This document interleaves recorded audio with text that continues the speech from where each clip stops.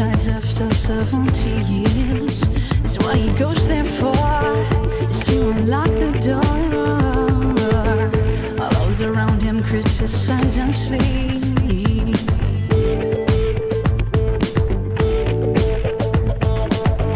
And through a fractal on a breaking wall, I see you, my friend, and touch your face again.